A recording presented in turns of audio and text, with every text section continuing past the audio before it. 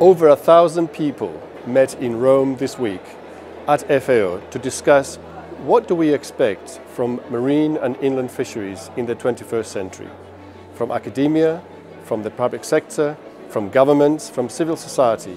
How do we reconcile the balance between food production, food security, livelihood security, and biodiversity conservation for a future world that we can defend and we can live happily in?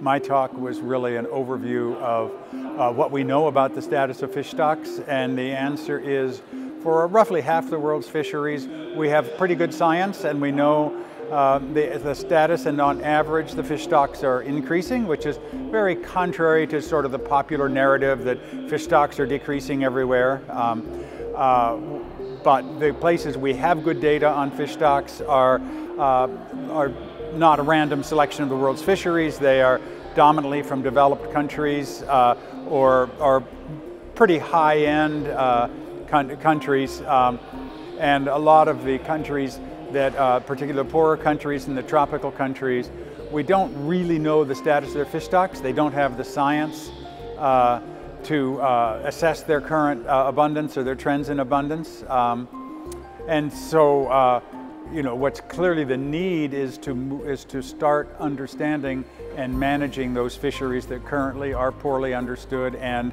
and reasonably lightly managed.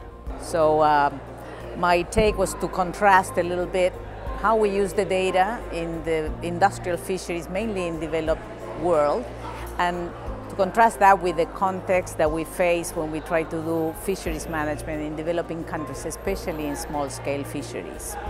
There's been a push to uh, develop methods that are able to perform well in data-limited situations, but my message is that data limitations come hand in hand with other problems which have to do with capacity limitations and also some difficulties in trying to enforce regulations. So it's sort of like you have to look at the whole approach and, and try to find out something that will work better in the context of each fishery. Well, I was in the session that was looking at um, how we can improve uh, partnerships between uh, biodiversity and food security. Um, uh, there were people who spoke on uh, the kinds of partnerships that we need for that. There were people who spoke on how we can bring stakeholders together. Uh, there, there, were people who spoke on the importance of, of gender uh, in, in, this arena. And there was also uh, a person who talked about some of the, um, the types of uh, approaches that are being used currently to try and encourage this partnership between biodiversity and, and food security for us to be able to meet the needs of food security, we have to take biodiversity into consideration because most of the time biodiversity is actually providing the support services for food. But there's a trade-off. Uh, so the main, the main message was what, what is that trade-off?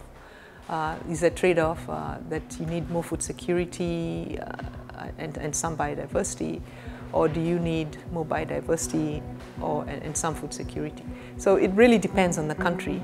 It's clear that if you uh, don't take care of biodiversity, it's going to be very difficult to meet food security because maybe you can you can harvest for a while, but then after a while it, it's not replenishing itself. I think it is almost the most important thing. Uh, it's hard to actually understand what's happening with a fishery and I think the people that understand the fishery the most are the people out there doing it. So without that piece, I, I don't see how it's possible to make policies that are affecting these people's livelihoods without having them involved. Um, and it's been fun for me because there was a couple of talks that I was able to interject and be like, you're not thinking about this. Well, I think one of the really important uh, benefits of this conference is to bring all that together because there are, there are as I said, there's so many conflicting narratives that, uh, you know, it's really, uh, uh, it's much easier to get publicity about a bad news story than a good news story. So the, the media coverage of fisheries is extremely unbalanced.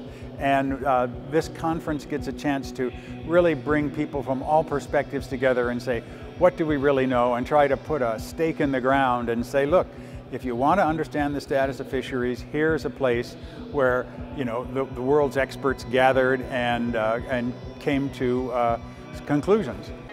The participants in this international symposium on fishery sustainability have put together a number of conclusions and recommendations that will be taken forward at the Committee on Fisheries of the FAO and a number of fora in the next year or two to ensure that we build a new narrative of what we expect from oceans, seas and inland waters as we move towards the 21st century to a world of 9 billion people.